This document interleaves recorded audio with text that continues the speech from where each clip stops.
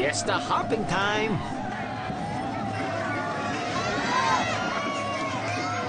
Isa raw sa biggest tourism attractions ng ating bansa ay ang mga piyesta. Bawat barangay, munisipyo o probinsya rito sa atin ay may nakatakdang piyesta. Isipin niyo mga biyero, araw-araw ay may nagaganap na piyesta sa Pilipinas. ang daming lechon nun. At dito sa Quezon, hindi lang isa, hindi lang dalawa, kung hindi apat ang piyesta na pupuntahan natin. Ngayong gabi, just sit back, relax, and fiesta with us.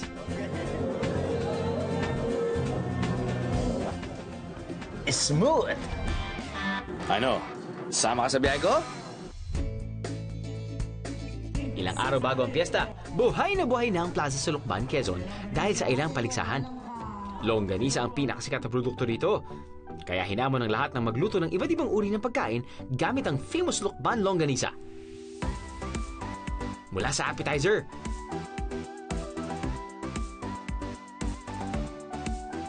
main course o ulam,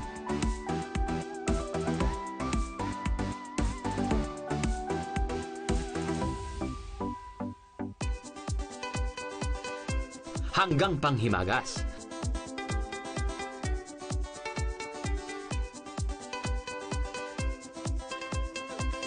Kung natakam kayo sa mga pagkain yan, sakto. Dahil may lokban longganisa eating contest din sila. Ang unang makakaubos ng isang buong hos ng kanin at anim na lokban longganisa ang siyang tatanghaling. Hinakamatakaw! este, panalo!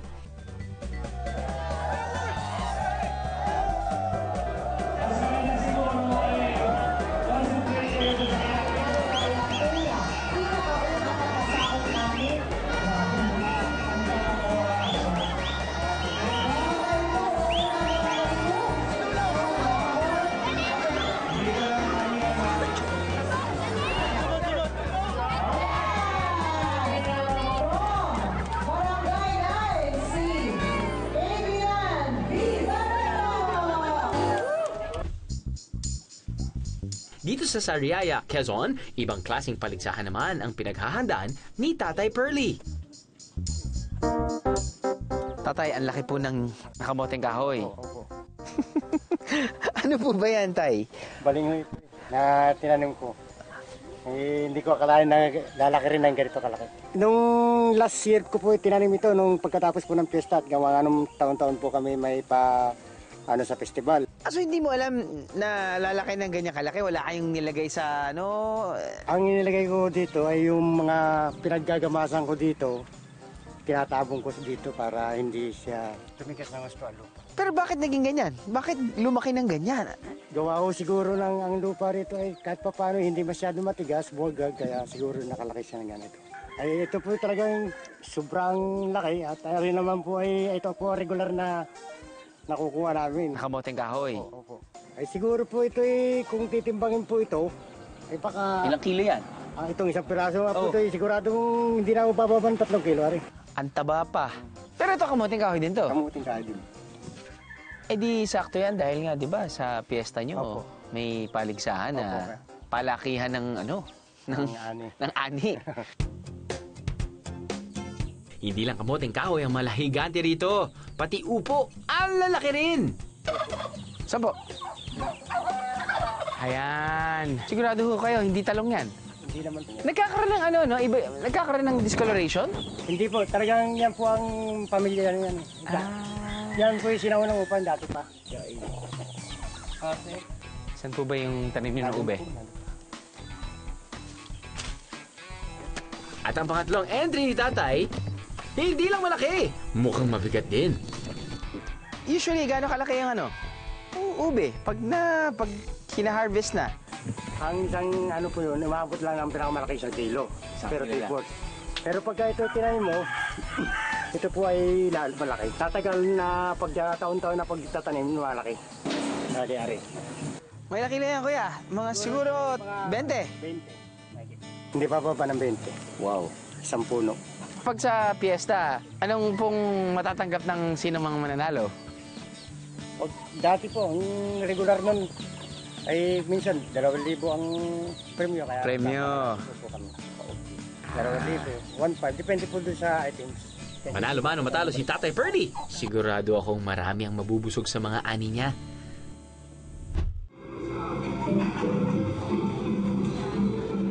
Pagalingan naman sa pagsasayaw ang pinaghahandaan dito sa Gumaca, Quezon. Ang mga traditional dance nito ay nagmula pa raw noong panahon ng Kastila.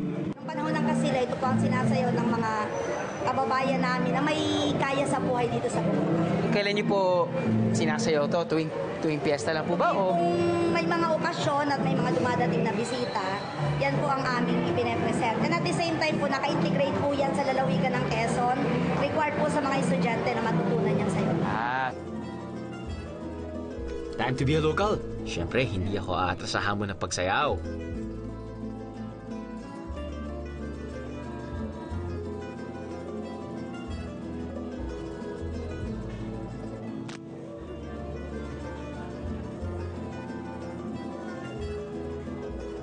Oh, nako, sige na nga, tama na nga.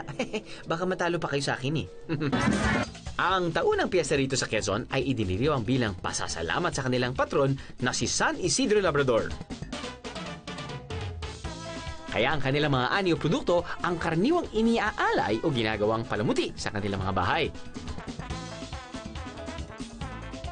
Ang pinakasikat na piyesta dito ay ang pahiyas ng lukban. Tuwing ikalabing liba ng Mayo, binabalot ng may-ari ang kanyang buong bahay ng mga produkto o ani mula sa kanyang bukid. Ang may pinakabonggang dekorasyon, siyang mananalo.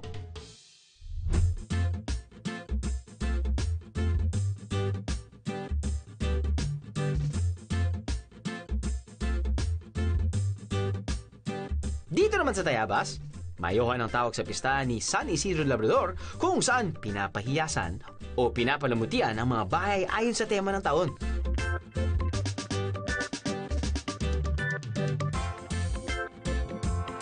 Ito po ang amin, Sir Andrew, na aming ipapahaya sa mayuhan. Ito po ay pale ng galing po sa bukid. Ito po ay sumasagisag na masaganang ani. so hindi na niyo po tinatanggal ito? Ay, hindi na po tatanggalin. Kasama po ito sa paglalagay. Ganito po ang aming ginagamit. Meron pong niyog. Pagkatapos ay ito pong may saging. At saka po ito mga puso po. Ito po yung ayusan din. Ito po gagawin pong parang flowers. Ito po ba yung kinukulayan din? Ito po nga materials na ganito, na galing sa bukid, ay hindi po pwedeng kulayan. Maliban sa mga ani mula sa bukid, gumagamit din ng ilang pang material para sa kanilang display. Po Yung tema ng ibinigay, yung concept ay gagamitan po ng buli, itong bunot, at saka po, yaang kawayan, ito po ay sintas, ang tawag namin sa Tayabas, Quezon. Ito po ay sinisintas, inalagay po at Ay, parang parol. Ito po naman ay yung mga balat ng sibuyas. Ay, yun nga po, no? Opo. Ang sombrero po galing din din po ba ito sa buli, sir? Gagawin naman namin flowers. Ito po ay bunot. Naging sunflower. Yan, lagi na po sunflower. Dapat po ikaw ay very artistic. Naglagay po kami ng I love Mayuhan. At ito po naman, Viva San Isidro. Parang nirolyo niyo po tong banig na to. Opo, isa-isa po yung nirolyo. Kinulayan at nirolyo. Are po naman, na ginawa kong are, ay galing po naman, sir, sa mais. Kinulayan po ang balat ng mais. Opo. At nilagyan din po ng galing sa bunot, ito po. At para magi po siyang sunflower. Yung po naman, na, na- nakikita ninyo para pong pako, ay ito po ay yari din sa buli. Ay ginawa na lang pong akala mo ay parang pako. Po siyang pako. magaling, magaling. Yan. Hindi ko po maintindihan kung ano pong drawing kong ito. Ay, kayo po gumawa niyan. Opo. Ay kung ito po ay... Ma'am, Opo. beautiful. Hindi ko po maintindihan kung aray gagamba, kung lamok, kung anong insekto ito. Ay, ito yung bee talaga. At ako po yung nagawa pa ng isa pa. Ay, hindi ko na... ah, ay, hindi po. Bir- bird po naman. Ay, bird bee nga, sin bird. Yeah. Ayun. Totoong bird po ba ito? Aba, hindi po ah. Ay, kala ko totoo. Ito po ay yari din po sa ano, tawag Balat dito, ng- sa balat ng- ng oh, bawang. garlic. Oo, Oo, garlic. Tapos ito po ay galing din sa mais. Mais. Yan. Pwede rin pang Halloween ito eh, ma'am, eh, no? Pang, pang ano po? Pang Halloween. Oo nga. Noong isang taon, ang bahay ni Ma'am Evelyn ang nanalo ng first prize sa Mayohan. Ito po ba yung harapan ng bahay niyo? Opo, yan po. Eh, kala ko parang nasa jungle eh. yung contest na to, kung sinong manalo, magkano po yung premyo? Ay, sa totoo lang po, ang premium po ay 25,000 ang first. Medyo malaki din yun. Ay di, okay lang po naman. Okay lang din. Saka kahit po mga maliit, ay di, yung po pakikiisa namin sa komunidad. Yun yung mas importante. Yun po ang importante, yung dapat po ang mga tao ay su- sumama, sumali, at maki... Ano? Sama ka sa biyahe ko?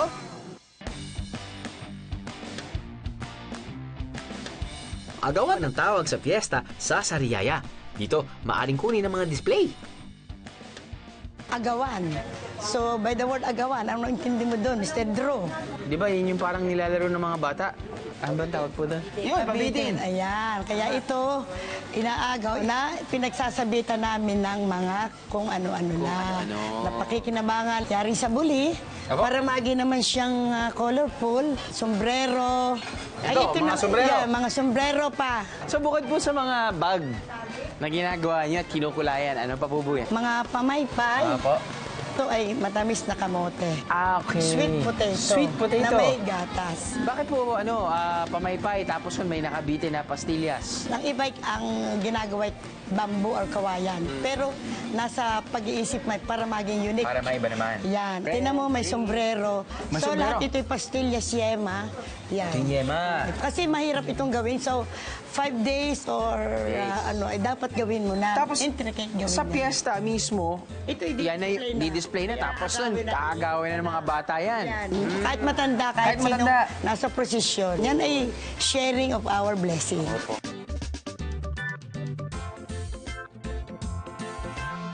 Pwede tumikim ka. Ay, naku, ma, ayoko po sana. Ngayon po ako nak- nakatikim ng kamote na pastillas. Yan, yema kung tawagin. Pero Yema, yan, yema. ito naman ay pure gatas.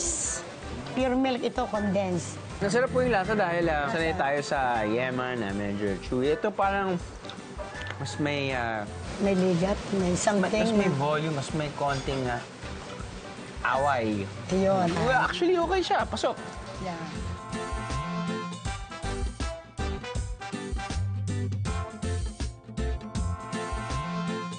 Ginagawa niyo. Kasi isa sa talagang tema namin, makulay. Para bagang buhay ng mga saryayahin. Makulay, Makulay. may ikot, may saya. Ah, pero okay po. mas makulay. Mas makulay talaga. Pinibigyan po kayo dito yung mga magsasaka, yung kanilang mga produkto. Kahit man ako'y gumastos. Opo. Ba- basta yung mga taong pumaparito yung masiyahan.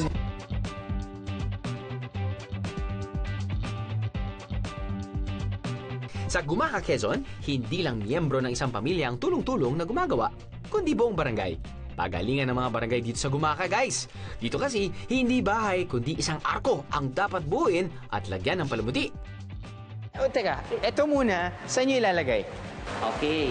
Ito, yung side ah, side design, no? Ito, ito, ito, ito. Ito yung pinakang front. Ito yung pinakang arko.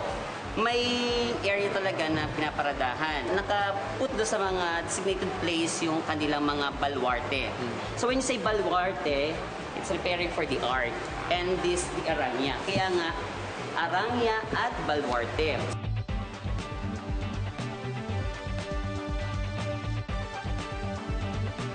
O, para malinaw ha, ang arangya ay parang chandelier na gawa sa kawayan na sinasabitan ng mga gulay o prutas mula sa bukid. Samantalang ang baluarte naman ang arko kung saan ito isasabit. Arangya, baluarte ang tawag naman sa pista ni... Correct, you guessed it right. San Isidro Labrador dito sa Gumaka. Siya ang pinakasikat na santo sa Quezon. You the man, or should I say, you the saint.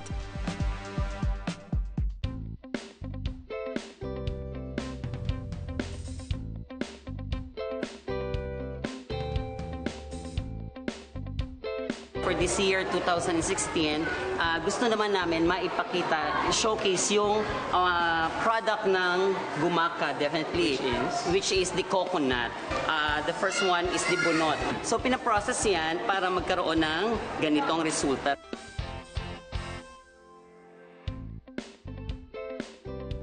Tapos may mga balat ng mais kami dyan. Isa sa mga produkto din yan ng gumaka. Yes.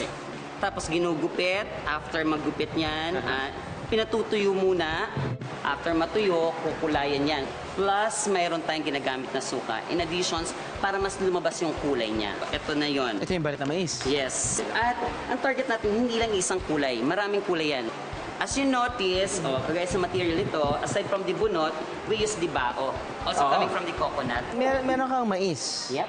At meron kang itlog ng lizard. Oh, that's not the itlog ng lizard. We're not familiar with this.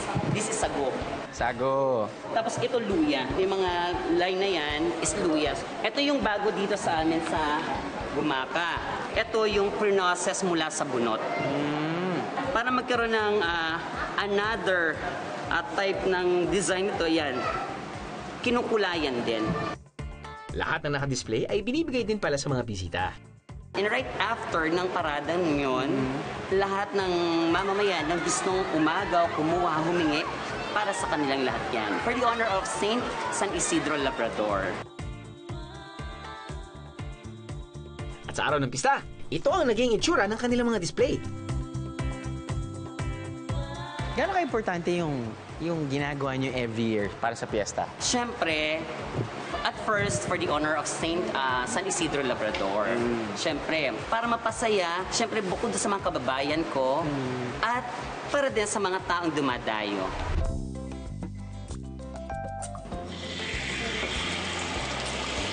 Matapos puntahan ang mga pang-display, abay, sampulan naman natin ang mga pagkain para sa pista. I hope your tummy's ready.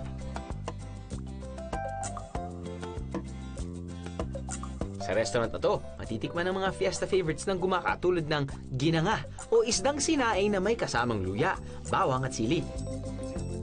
Matapos ang ilang minuto, voila! Meron na tayong ginanga! Ang dali lang naman palang gawin.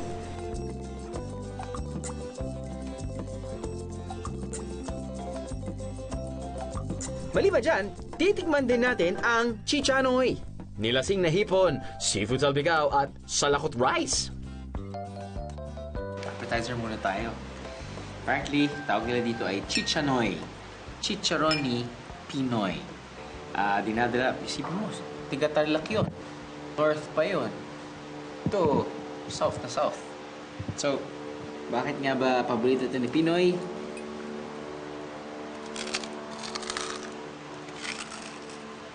Mmm.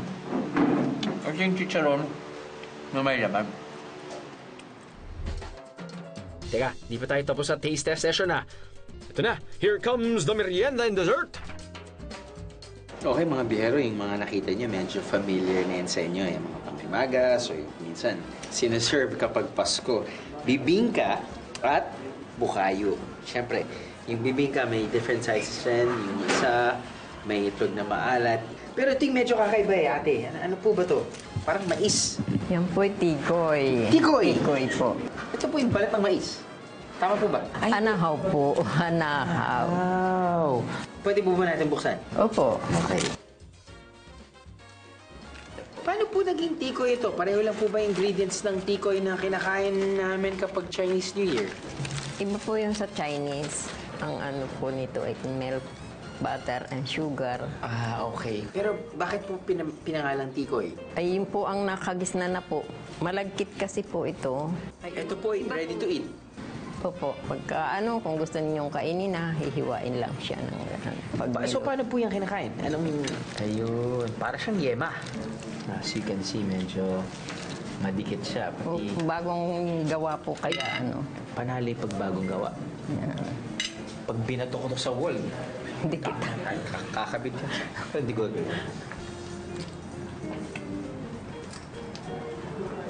Hmm, okay.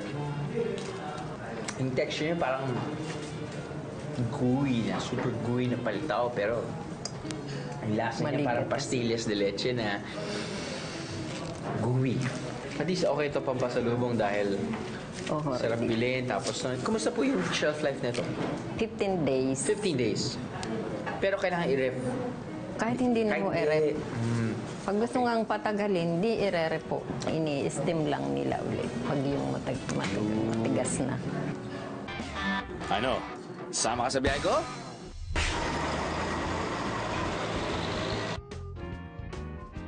Pause muna tayo sa fiesta hopping para malibot ko kayo sa lugar na to. Alfresco type ang kanilang restaurant at may cottages din kung saan maaari kayong kumain. Narito tayo para matikman ang ilang native dishes mula sa Pagbilao. Ito ay pinais. Anong nilalaman ng pinais? Ano nga ba ang pinais? Ang pinais po, ayun na po ay combination din po ng tinuktok sa pinais. Ang pinagkaiba po lang, yung pinais ay binabalutan siya ng lain, sa akin ay dahon ng saging.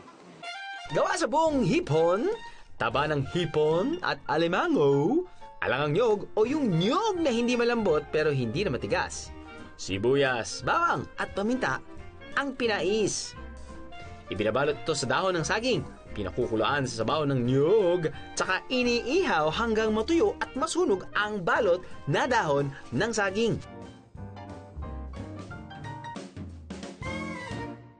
Laing. Ako lang. Tinuktok. Pero ano nga, kasi mukha siyang laing eh. Pero ano nga ba yung difference niya sa tinuktok, which is this one? Ah, ang tinoktok po ay combination ng pinangat na lain at saka ng pinais. Kaya po tinatawag siya na tinoktok. Yung pong hipon sa halip po na tatad na rin, ang tawag po ay tinotoktok. Hmm, Pagkatapos ito ay niluto sa gata, meron din pong sili para po yun ay additional na bango. Pareho lang ng laman ng pinais at tinuktok. Ang kaibahan lang sa tinuktok, tinadad o tinuktok ang hipon. Gets? Gets. Tinuktok. May mga nyug sa loob. Meron siyang laman na maraming nyug. Alabuko. The best. Katulad nga sinabi ng makeup artist ng aking asawa, ano ba i-teach? Parirutong po ay katulad din ng malagkit rice po, kaya lang po ay siya ay black. Ginigiling ang parirutong hanggang madurog. Saka hinahaluan ng asukal at ipiniprito.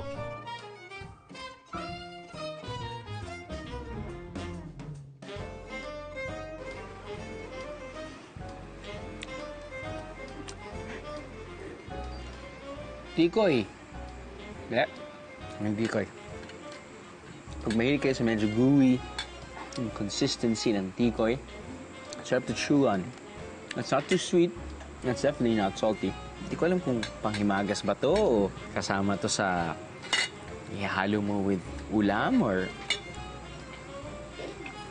I don't know, but I'm really enjoying it. Despite of the looks. so, okay ma-intimidate sa itsura niya.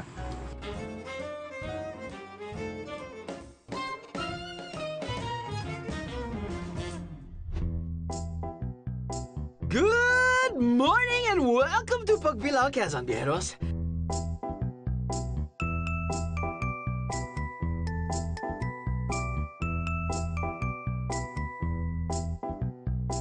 Ang resort na to ay may mini zoo na may iba't ibang klase ng ibon, deer at ostrich.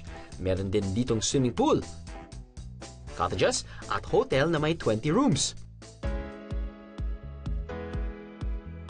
For rooms and accommodations, spacious ang mga kwarto nila na good for 2 or 4.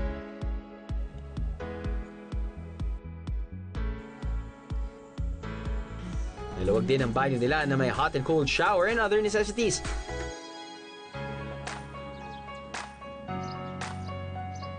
Pero ang pinakasikat dito ay ang kanilang Dine by the Bay restaurant kung saan inihahatid ang mga pagkain ng isang aeroplano.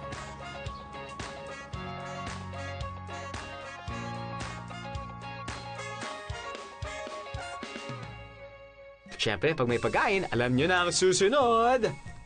Tikiman time. Nag-offer po kami ng seafoods na uh, cook in Filipino and Chinese uh, style. Steam prawn po, uh, very basic. Yun po yung ini-steam lang po siya and then nilalagyan ng garlic and then konting seasoning. Sinasatay po yung broccoli, tapos i- ina- tinatappingan po ng black mushroom with mushroom uh, oyster sauce po naman yan. Ostrich meat po yun, ma'am. Ah, in mushroom sauce din lang po yun. Pero kung mapapansin niyo po, lean meat siya, so very healthy. Ini kinikip po namin siya na alive, yung mga talaba. So pag-deliver po nila sa amin, kinikip po namin sa ilalim ng mga cottages. So nag, nag, na, na-maintain po yung freshness niya. By the time po nalulutuin siya, doon lang po siya pine-prepare.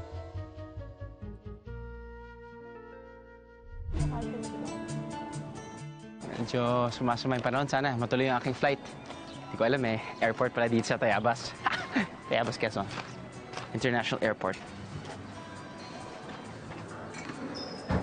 Tuloy ba yung flight? Tuloy, sir, ngayon na lang, sir, iniintay. Parang sama na. Ah, ganun ba? Opo.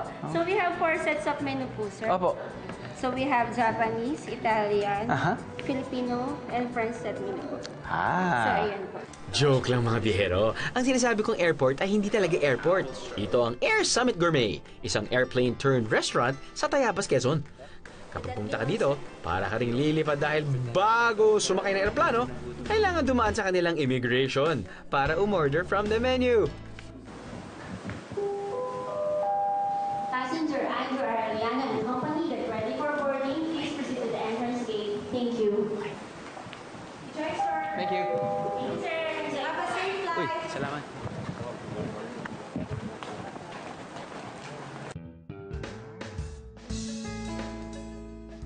Sa loob, ibang-iba ang eroplanong ito dahil imbis na mga upuang magkakatabi, pinalitan ito ng mga dining tables, chairs at two-seater sofas. May minibar din at mga server, ba, naka-flight attendant uniform. Hopefully, mas masarap sa airplane food yung sinaserve nila.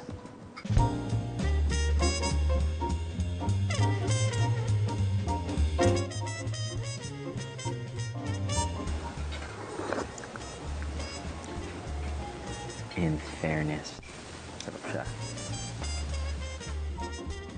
Stop aubergine po siya in Philip sauce. So, stop egg eggplant po siya. Okay.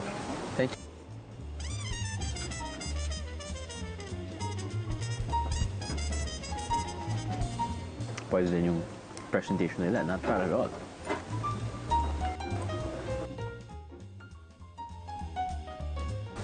Okay na ako dito. Hindi, hindi. Something okay ni Kichichi. Basta, pero okay na ako dito. Hmm. Okay nga siya. so yung texture niya parang pancake. So Japanese pancake with Japanese mayo. Ah. Pwede. Hi, sir. yes. So, ito na po ang tray nila.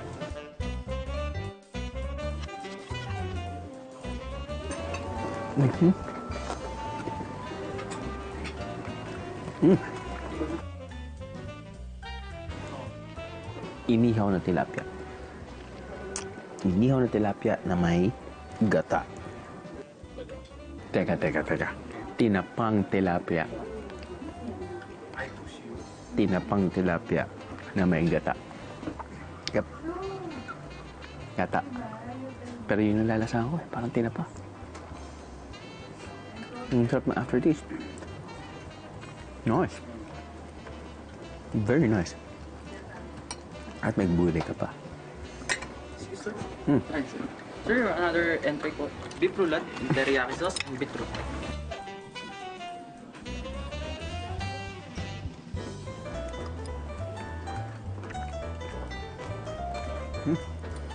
Kaya din. Kaya ito mauubos to. And this is the last. Uy. Dessert po nila. Sigurado ka last? Yes, sir. Okay. Apple strudel po. Apple strudel. Yes. Rumble jumble na yung tiyan ko, man. Feeling ko nagkakaroon na sila ng turbulence sa loob. eh. turbulence.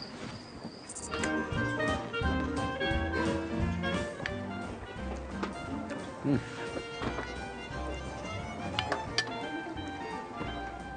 In conclusion, not bad ang pagkain. Take note, hindi siya lasang airplane food. That's a huge plus. At least presyo nila, it's not high up there. That's high.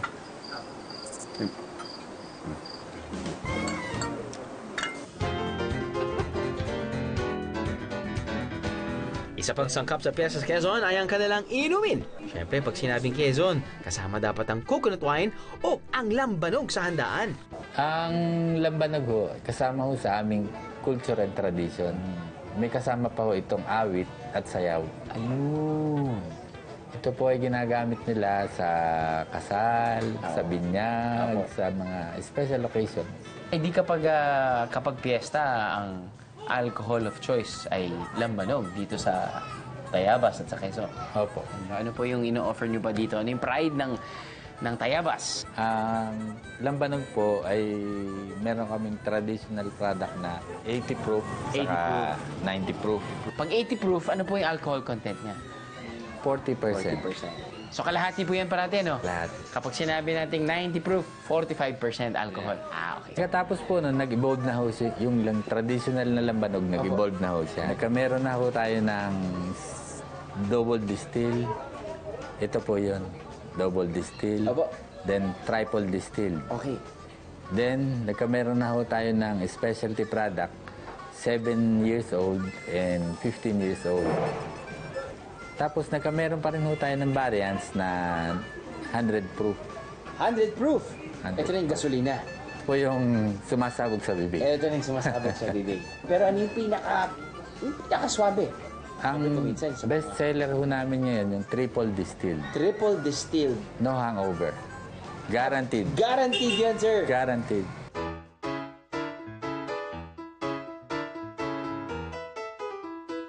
Aber! Tikman nga natin itong no hangover ng banog.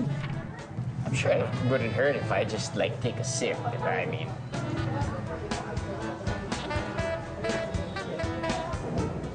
It's smooth. Hindi, oo nga po, medyo mas smooth siya kaysa sa very rough uh, memory ko sa dating lambanog na natikman ko. How should it be taken? Uh, shot? On the rocks? May hinahalong juice? Ano po ba?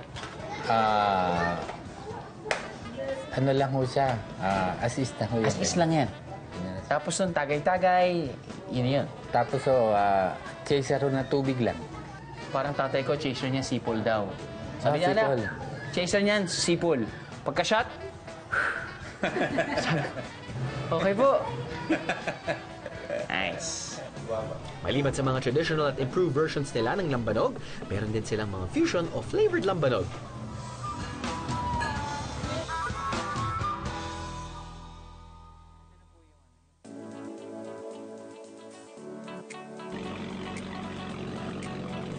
Matapos magbahay-bahay at makikain sa fiesta, oras na para mamasyal. Dito sa Padre Burgos, may ilang islang maaring pasyalan. Sa mga mahilig mag-camping, siguradong masusubukan ng inyong Boy Scout o Girl Scout skills sa Dampalitan Beach.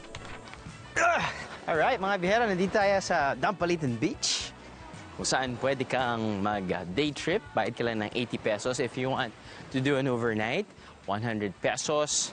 Pwede ka rin magdala ng tent. Yun yung ginagawa ng mga ibang tao. If ever wala kang tent, gusto mong mas konting komportable, meron din silang cottages.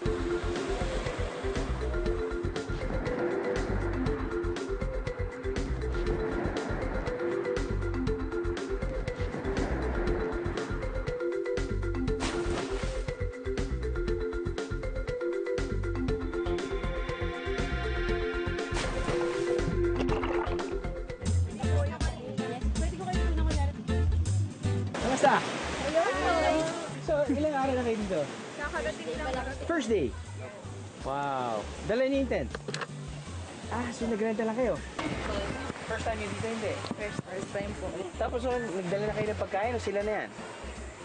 Nagdala na po. Nagdala. Nagdala na rin kayo ng pagkain. Tapos magpapaluto na lang kayo, kayo na magluluto. Kami po magluluto. So, apat kayo dito? Lima po. Lima? Wow! Six. Ya- Yakap-yakap na lang, no? okay ah. Magkakapatid po daw. Oo nga. Magkakabarkada. Kaka- Magkakabarkada naman. So, bukod sa kain, kwentuhan, ano pa yung iniisip niyo dito? Magsaya. Magsaya? Tanggal lang stress. Tanggal ang stress. Bakasyon. Bakasyon lang. Ah, sige, enjoy kayo. Yes. Okay.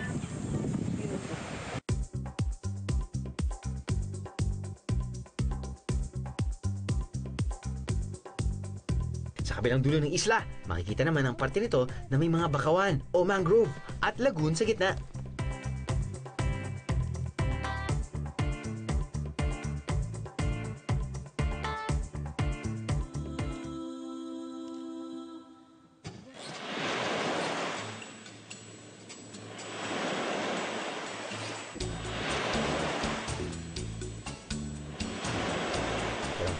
Daw na isla dito sa Pedro Burgos ay ang Borawan.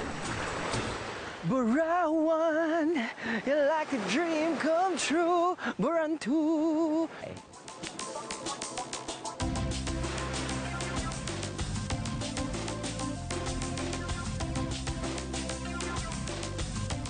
Bora 3, it's plain to see. Walang restaurant dito sa tabi.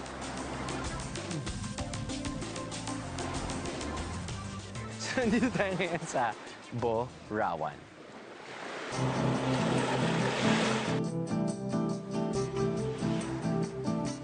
Come on, ako lang ba nun? Totoo, Burawan. Pinangalan nila itong Burawan dahil Boracay at Palawan. Boracay dahil sa, kita mo naman, not bad. I mean, hindi ganun ka parang fine sand, no? Hindi rin ganun ka-white. Pero basta okay na yun. Pero Palawan, dahil, oh, see the limestones? Oh, di ba? At going back to Boracay, meron din silang different stations. Meron silang Station 1, Station 2, and at just a few meters, actually just 10 meters lang yata, Station 3 kung saan nandun yung kanilang restaurant at bar. So, kunyari, tinakbo ko to, siguro wala pang isang minuto, lahat na ng stations nabiyahe ko na. At least, di ba? At least. Sulit yung biyahe nyo. So, sama kayo sa biyahe ko din sa Borawan.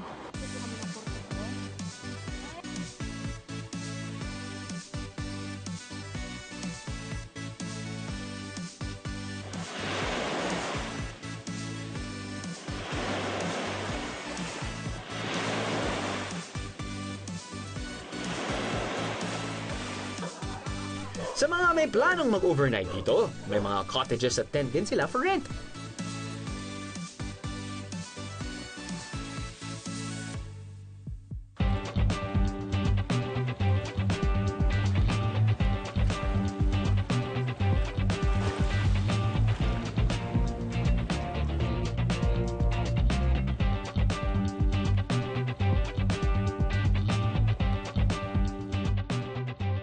Pagbilao, Quezon naman, maaring puntahan ng Bilaran Sandbar kung saan pwede ka mag-swimming.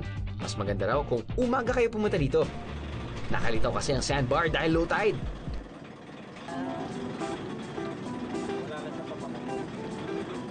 Puting buhangin o kwebang lampas naman ang tawag sa islang ito. 80 pesos ang bayad para sa day tour at 160 pesos naman para sa mga gusto mag-overnight.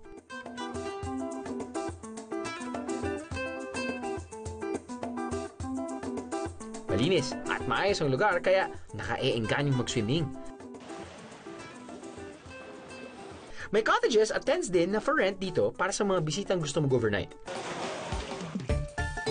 At sa kabilang dulo ng isla, ang kuweba o tunnel na may lusutan sa kabilang dulo. Mula sa beach, nasa dagat ka na! Astig!